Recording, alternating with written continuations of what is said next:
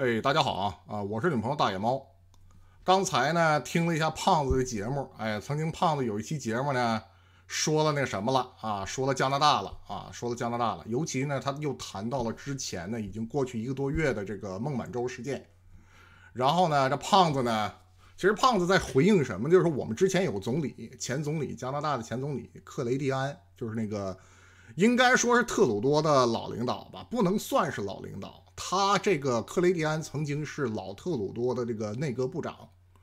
呃，然后曾经负责了一系列的重要事务，比如说一九七一年，一九七一年在第应该是第二十五届联合国代表大会联合国大会上，然后呢，呃，那个有一个非常重要的投票嘛，二五七幺号决议啊，二五七幺号决议是啥呢？讲那什么？讲那个就是说，呃，恢复中华人民共和国在联合国的席位，同时呢，把蒋介石集团给踹了，在当场。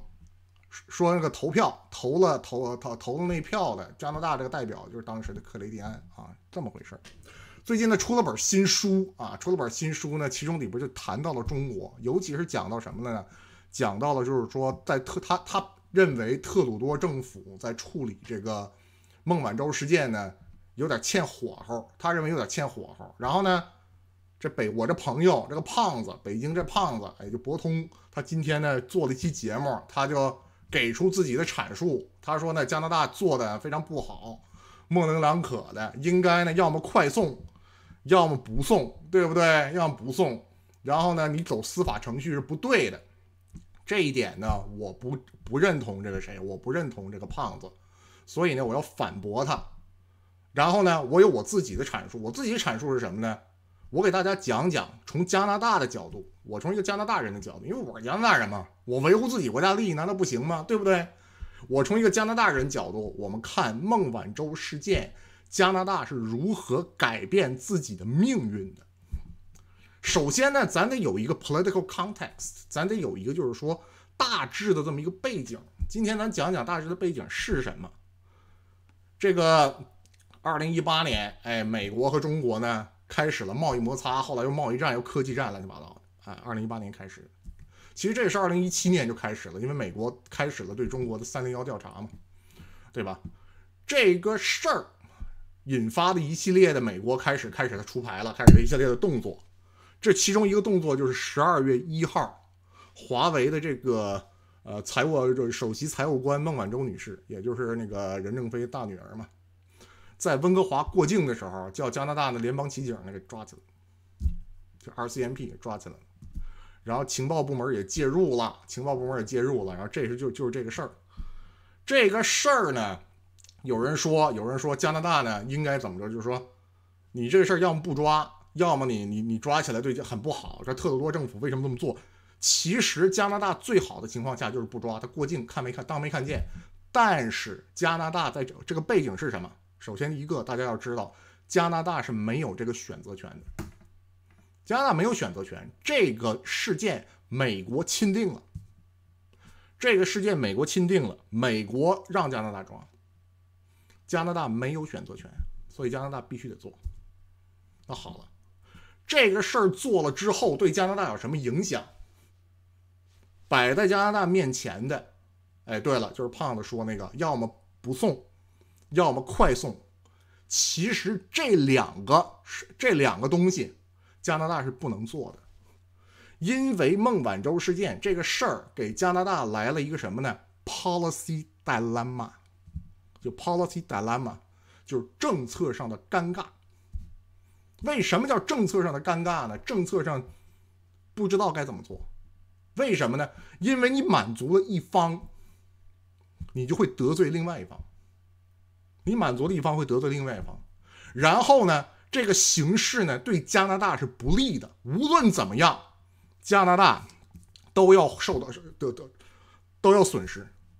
今天我反驳胖子，我认为他的这个东西，他这个前提是是有问题。他这前提是什么呢？加拿大要么怎么着呢？要就是说，加拿大不能模棱两可，加拿大必须得做事做的坚定。我不这么认为。其实沈毅老师在他的节目上曾经有那么一点，我认为非常赞同的。虽然我是加拿大人，我不愿意听那个话，但是我认为非常赞同的是什么呢？是加拿大是个地名。为什么加拿大是个地名呢？它没有主权。他没有主权。那有人说不对呀，有人比比如比如我们之前的总理克雷蒂安就说，在他上任的时候，在他在任的时候，加拿大没有参加伊拉克战争。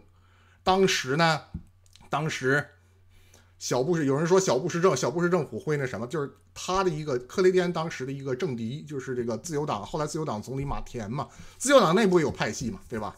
自由党自由党总总理马马田就跟他说说你咱必须得参加伊拉克战争，咱不参加伊拉克战争，美国会那啥，美国会惩罚我们。其实后来美国也没有惩罚嘛，所以加拿大呢 exercise 自己的主权嘛，对不对？但是伊拉克战争的情况跟现在是不一样的，这现在是不一样的。首先，伊拉克战争这个事儿，美国这加拿大是可参加不可不参加。美国那边也说了，coalition of the willing，就是这个联这个联盟体系是谁想愿意去谁去，不强迫，不强迫。他跟他跟阿富汗不一样，阿富汗那个阿富汗当时是什么？当时是他那个。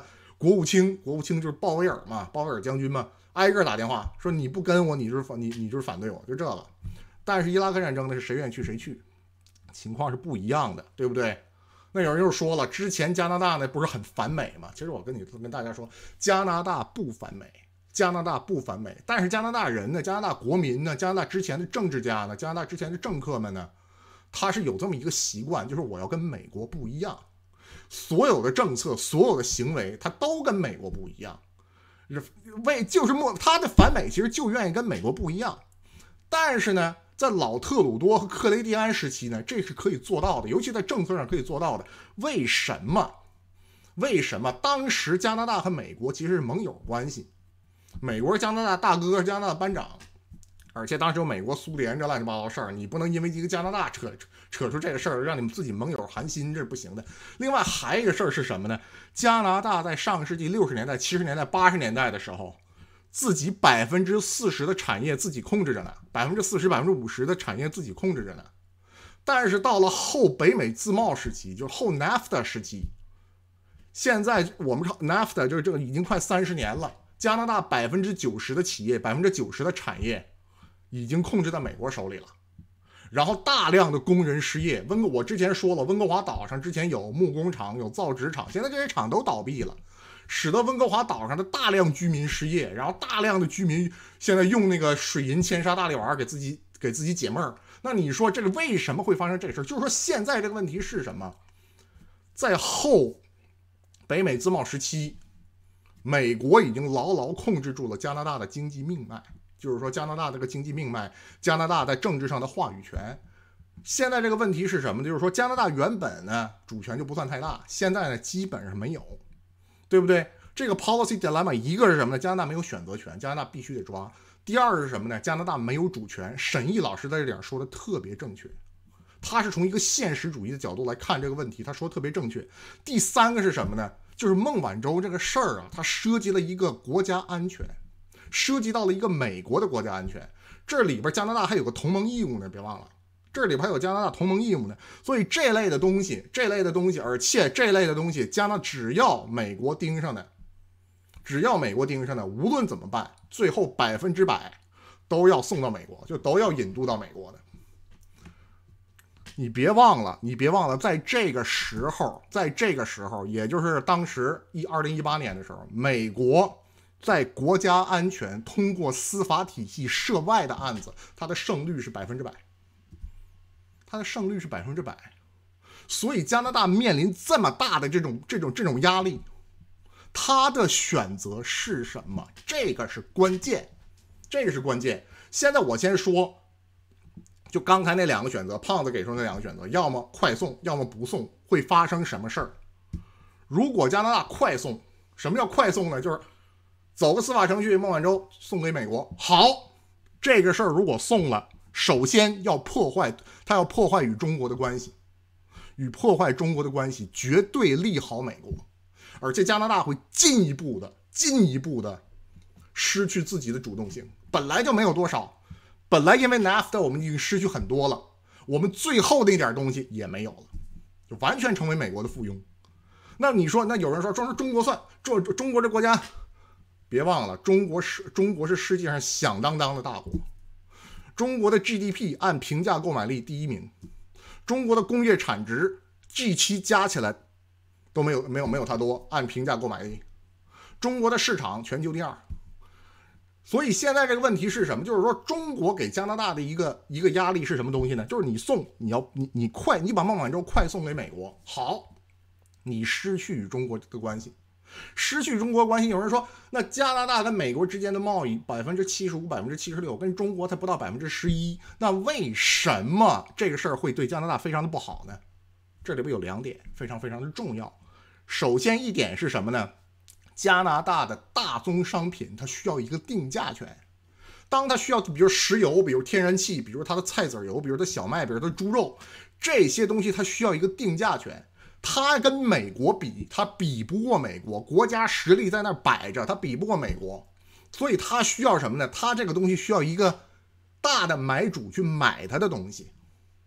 这个大的唯一能达到现在能达到这个这个情况的，就是中国。中国大量的买加拿大的产品，买加拿大的石油，买加拿大天然气，买加拿大猪肉，买加拿大的菜籽油，加拿大的这些大宗商品，在针对美国的贸易当中，或者针对美国当中，在在世界上抢这个市场的时候，它就有定价权。它这个定价权对它自己的收益是非常关键的。如果它失去了中国的关系，中国不买它的东西，比如中国不买它的石油了，那好了，加拿大这个什么？加拿大的石油没地方去，只能去美国。比如说，现在全球的油价八十美元一桶，加拿大就得用十五美元一桶的价格卖给美国。而加拿大产一桶油需要四十美元，因为它是油砂矿嘛。所以，如果失去了对中国的关系，那么加拿大的大宗商品失去了定价权，加拿大会继续的成为美国的附庸。这是第一个。第二点是什么？如果失去了与中国的关系，别忘了，中国现在是世界第二大，每年经济增长百分之六、百分之七。按照这个增长率的话，它将来有一天会超过美国，成为世界第一大经济体。到那个时候，加拿大需要什么？需要它的市场准入，需要进入它的市场，有更多的利益等着它。如果加拿大失去了与中国的关系，那等于说它在未来跟中国的经济、跟中国的这经济绑定，跟中国这个经济去那个就进一步扩大的时候。他就失去了这个权利，这就是中国跟对对加拿大的压力。所以呢，把孟晚舟快速送给美国是不行的。那有人说加拿大可以牺牲，完全牺牲这些，别忘了我们现在财政赤赤字多少？在疫情之前百分之一百零三啊，我们百分之二的经济都损失不了。每年百分之二的经济，如果我们我们损失就是每年经济损失百分之二的，我们都受不了。你让我每年损失百分之五、百分之十？你想，你你是你你想你想干什么？我这里边还没有说中国留学生大量的中国留学生对加拿大的中小企业，尤其是小城市当中的中小就中小企业和和那个每个人的家庭有什么影响呢？有大量的中国留学生到中国的到加拿大的那个大学城去，比如说比如说 Brandon Brandon University 布兰顿大学、里斯布里奇大学 University of Lethbridge，对不对？甚至比如 Vancouver Island University 在什么地方？在 Nanaimo。贵尔夫大学的 Golf 有大每年他们吸收大量的中国留学生，大量的中国留学生，他们的学费是本地学生的五到六倍，他们在本地的这个家庭里寄宿，就我们管叫 homestay 或者是租房子，然后呢，在本地消费，本地消费买个车呀，买个吃的呀，啊玩一玩啊，给本地的经济呢能那个提起来。那你说中国留学生不要了，要印度行吗？可以，但是达不到那么多人，这个是关键。如果失去了中国的留学生，就比如说很多大学，甚至他办了很多语言培训，办了很多这种预科班，也招收了大量的留学生，也是来自于中国，对不对？这都没有进入到正规的大大学编制，但是他们也这么做了。他们的目的是什么？收更多的学费，为当地呢创造更多的机更更多的效益。如果这些没有了，那这笔经费谁掏？大学失去的这些经费谁掏？难道政府掏吗？加拿大政府现在还有钱吗？对不对？我们能不能像美国那么随便印钱？当然不能了，对吧？所以你失去了中跟中国的关系，你会失去很多东西。所以快送是不行的。那不送行不行？那不送也不行啊。为什么不送不行呢？你不把孟晚舟送过去，美国美别忘了，这百分之百要引渡的，这百分之百要引渡的，无论你怎么折腾，百分之百要引渡的。那不送行不行？不送也不行。不送会发生什么事儿呢？会得罪美国，尤其是川普这种极右翼的民粹政府。你觉得他们会对加拿大怎么样？你别忘了，在这个事儿之前，美国跟是跟自己盟友也打了一场贸易战呢，尤其是对加拿大的钢铁和墨西哥钢铁加了关税啊。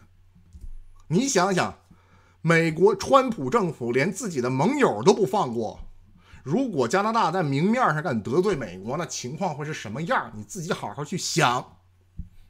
所以这这给加拿大，所以孟晚舟这个事儿给加拿大了一个什么东西呢？给加拿大了一个 policy dilemma，政治上的一种非常非常不不情愿的事情。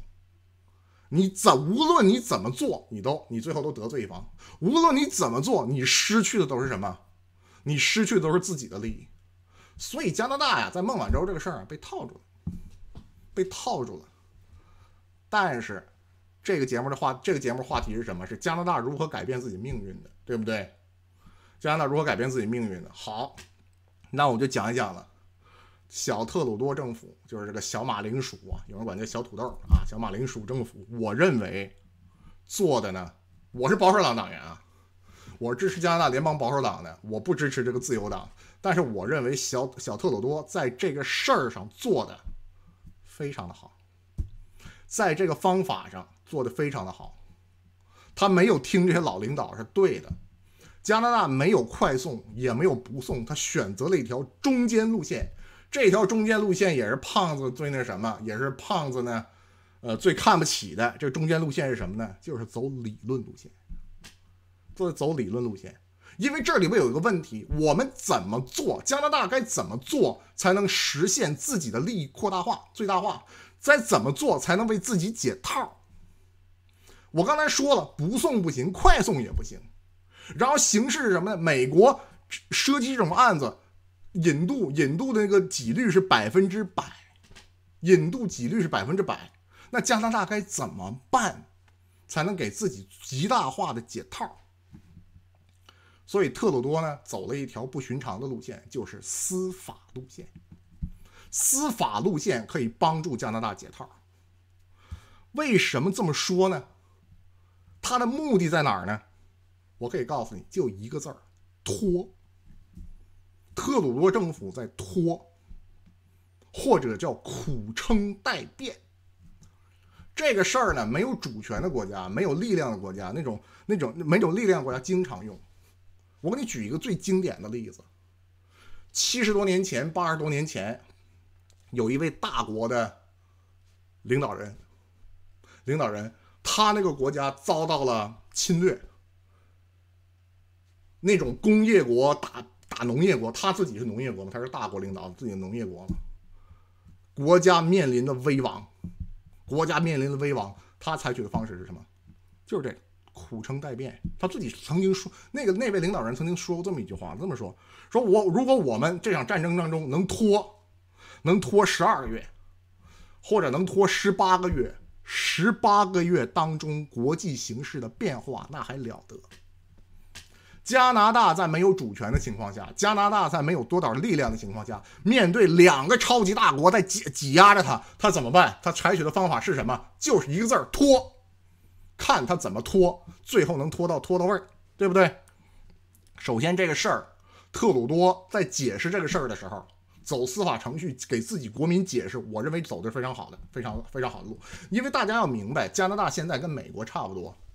也有这种民粹，尤其是这种右翼的民粹，在我们那个党就保守党，这种事儿太多了，这种事儿太多。之前都分出一分出一批一批人呐，只分出一些人民党的帮脑袋，跟川普那个政治搞得差不多。这个事儿，他说他就说什么呢？说加拿大应该快送，对不对？保守党就这么说，加拿大应该快送，然后呢，一定要搞好跟美国的关系。但是呢，失去了中国，失去中国无所谓，我们就是跟中国对抗的，失去中国无所谓，失去中国失就失去了。所以这些人他不，他他很多人他对中国不了解，很多人他对中国不了解，很多人他对中国就是说还是三十年前那种情况，所以他们给出这个东西显然不符合现实，对不对？所以加拿大这个特鲁多政府对本国的解释是什么呢？加拿大是司法独立的，加拿大是司法独立的。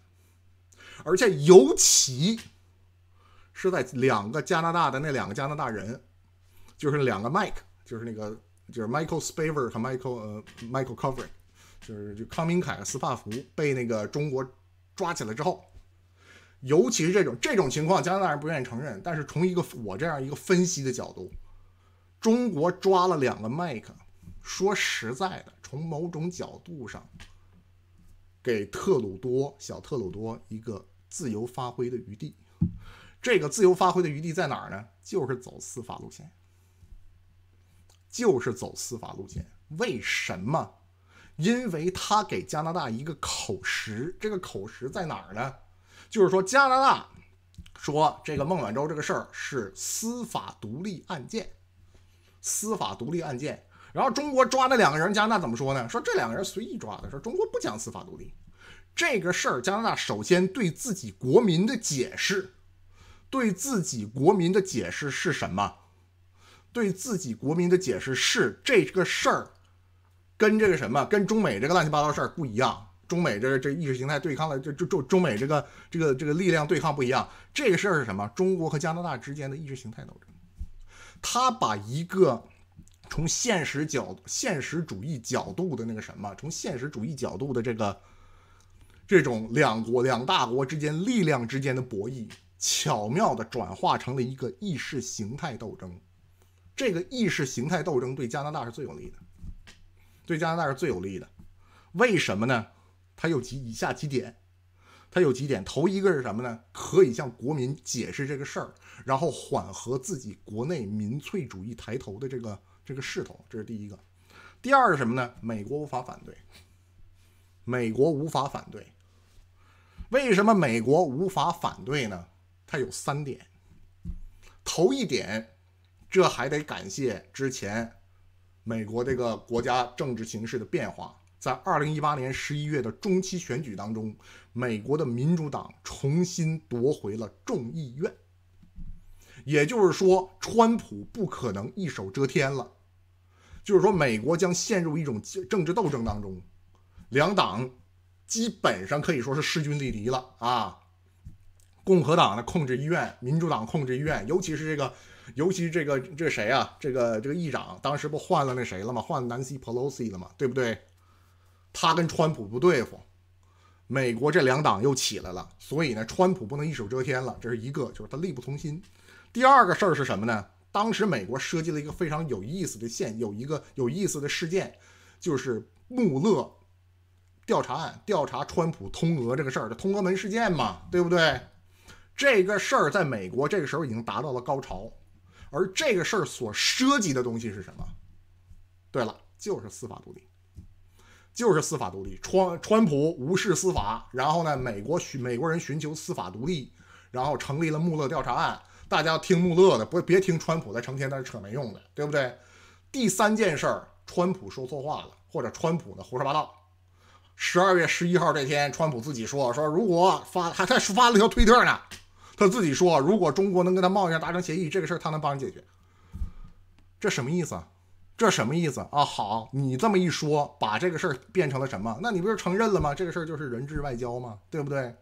这个事儿这不是川普绑票吗？对不对？美国加拿大绑票，美国唆使加拿大绑票吗？对不对？其实这个事儿在克雷克雷蒂安今天的书里边，他也这么说的，说呢，美国美国把加拿大套住了，这事儿是美国的错。克雷蒂安就这么说的，但是。特鲁多不能就坡下驴这么整，那特这这就坡下驴这么整，加拿大麻烦了，对不对？加拿大失去了跟中国的关系，我们损失多少东西啊，对不对？或者不那么整，硬着来，美国会整我们，对吧？那怎么办？走司法独立，走司法独立，这被首先我跟你说，中国抓了两个麦克，给加拿大走司法独立创造了条件。然后呢，美国中期选举，然后呢，穆勒调查案，然后川普这种胡说八道。这个事儿让美国，就是说美国，美国也不愿意看到这个事儿是美国绑票啊，美国也愿意看到这个事儿是走司法程序啊，所以就是说加拿大走走司法程序程序走中间路线，走中间路线，对自己本国也那个什么，对自己本国也是那个也是可以说得过去的，对美国来说，哎，美国也反对不了，这事儿就是中间路线了嘛，对不对？美国就美国也反对不了这事儿中中间路线了嘛，对吧？所以加拿大对中国来说呢，那对中国来说没有快送，没有快送过去，然后呢，那个是在那种情况下，也就是说，也就是说，也能也也就能那么将就着嘛，对不对？最后就那么回事嘛，对吧？如果送过去了，情况会是另外一种情况，对吧？所以呢，加拿大这么做，可以说从某种程度上平衡了各方之间的这种关注，然后把这个事儿降低，把这个事儿降低，变成一个司法的事件，也就不是什么人质绑票乱七八糟的，咱就不谈了。这个事儿变成一个司法的事儿。加拿大这么做的目的是什么？这不就是拖吗？他拖什么？其实加拿大走司法程序，他赌一个东西，你别忘了，加拿大这个司法程序，它可以无限期的拖延。他可以，比如说听证会，咱隔上几个月，然后第一审，哎，停上几个月，有什么新的证词，停上几个月，有什么新的那个证人，提上几个月，然后最终即便宣判了，说引渡，说哎，这人上诉，哎，又拖上几个月，这事儿一拖拖好几年。拖好几年，加拿大为什么拖好几年？他赌什么呢？他赌两个东西，其实，其实一个东西他可以可以可以赌到的，他争取二零二零年美国大选，争取川普败选，民主党上台，民主党的政策不是那么极端，加拿大就可以那什么了，就可以部分就可以就基本上就是说这个事儿呢，可以就是说能能说得过去了，对不对？能说得过去了。然后还有一个事儿是什么呢？如果这些年出现了那种极小概率事件，那么加拿大解套的机会不就更大了，对吧？加拿大解套机会不就更大了吗？对吧？那我们后来知道发生什么事了？二零二零年疫情来了，我之前不做过一期节目讲这个事儿吗？二零二零年疫情来了，中国几个月三下五除二，快速反应部队上去，很快把疫情解决了。然后疫情对于美国来说，对于欧洲来说，那就包括加拿大、包括印度、包括东南亚，那都是基本上惨不忍睹嘛，对不对？美国被疫，美国在疫情上的伤亡，那那之前我跟一朋友在那哪儿，在那个在那个网上留言说那个比呢，他他他说那个比那个伤亡，说那新冠这个这个事儿跟那个怎么比呢？没法比嘛，对不对？然后美国因为这个事儿经济被拖垮了。美国经济这事儿趴下欠那么多债，然后印度和东南亚还有还有还有还有南美的疫情，让美国赖以维系的这个生产线，或者赖以维系的从其他从不从中国进货，从其他地方进货的这个最后一条最后一条路也没有了，对不对？然后现在美国不得不求着中国为自己为自己这个经济那个那个那个什么嘛，改善自己的经经济形势嘛。然后中国在整个的这场博弈当中就占了上风。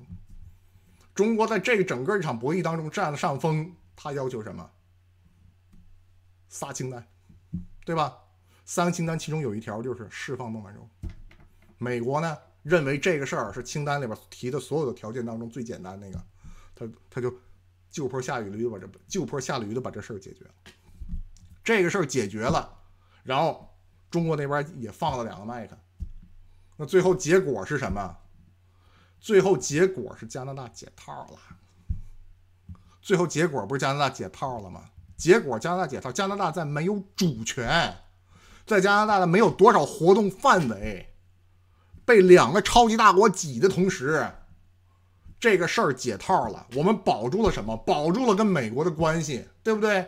这人是美国让放的，不是我们让放的，也不是我们我们让整的，就全是美国的美，全是美国的事儿，对不对？美国是美国那边司法说这个事儿不引渡，该怎么地怎么地，你看你该放该放，这怎么地怎么就对吧？美国说了，这变成美国的事儿了，对吧？我们跟美国的关系没有那啥，没有没有走坏。那我们跟中国的关系呢？民间可能会有一些影响，但是这个事儿解套了之后，中国不又能买我们的大宗商品了吗？然后中国那个中国市场，咱说咱说民间可以损失一些，但是随着时间的推移，这个事儿慢慢的会淡化下去，慢慢会淡化下去。然后呢，然后也许我们将来会得到部分的机会嘛，对不对？所以跟中国这边也没有损失多少。然后最重要的，我们的大宗商品跟美国竞争的时候也没有失去的定价权，因为中国会继续买嘛，不就这个嘛，对不对？所以最终我们看到什么？最终我们看到什么？加拿大在这点上，从某种程度上讲也是赢家，从某种程度上讲，也是最后的胜利者。我们之前说了，美国在这个事儿上惨败，他为什么惨败呢？之前我们说了吗？美国涉及国家安全的，司法涉外案件胜率是百分之百，现在不是了。现在中国给大家做了一个榜样。你当年法国皮耶鲁齐这个事儿你没整好，对不对？你欧洲经常有这事儿，中国给欧盟上了一课，说你看看，你看看，靠着国家力量，靠着国家的主权，跟美国针锋相对的干，只要你的力量尬过他们，哎，这事儿是可以解决的，对不对？这事儿是不是可以解决的？孟晚舟人回去了，人给送回去了，对不对？没引渡啊，百分之百，现在现在百分之九十多了，对吧？对吧？这事儿达成了，中国是一个胜利者嘛，对不对？加拿大也是胜利者。为什么加拿大也是胜利者？从加拿大的角度，我们解套了。虽然跟中国的关系上损失了三年，跟克雷蒂安那么说说的也比比较正确，损失了三年。但是不管怎么说，跟那个最坏的情况，跟那个最坏特坏的情况，我们比那个来说好多了，好多了。沈毅老师说：“我们我们这块是个地名，没什么主权。从一个现实角度是这么回事。但是，即便在这个情况下，小特鲁多政府通过他的拖延，通过他的走司法程序，通过他的那个审时度势，通通过他的通中国通过他在那个两两大国之间的那种这种这种博弈的这种从中从中间这种这这这都怎么说呢？长袖善舞吗？”加拿大解套了，加拿大的利益没有损失那么太多，这个结果对加拿大是最好的结果，所以加拿大在这个问题上改变了自己的命运。好了，今天这期节目呢，咱就做到这儿，咱就说到这儿。有什么有什么不同的意见呢？可以在底下留言。我是你们的朋友大野猫啊，喜欢我节目呢，一键三连。谢谢大家，再见。